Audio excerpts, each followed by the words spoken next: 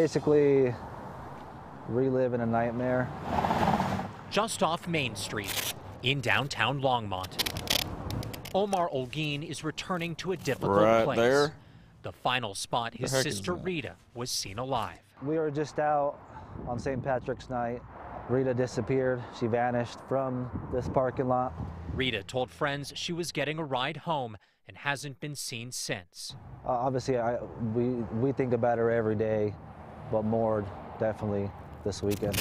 Her family has spent the past year posting signs downtown and searching fields west of Longmont. Police have said they no longer believe she's alive and have information her body could be near Rollins Pass.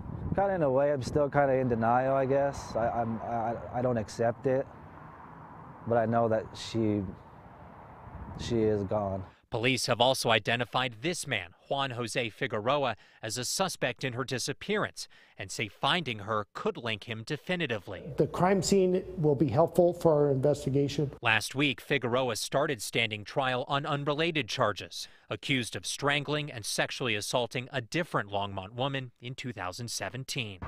They gave me some kind of hope at the same time until they actually charge someone and convict someone and get more details, then it'll be a little bit more satisfying, I believe.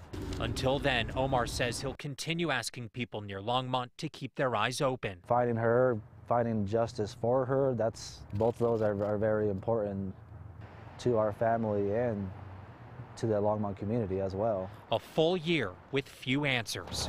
Family hoping year two can provide some closure. I really hope so, yeah, I, I really do, yeah. In Longmont, Evan Kruegel, Fox 31. Evan, thank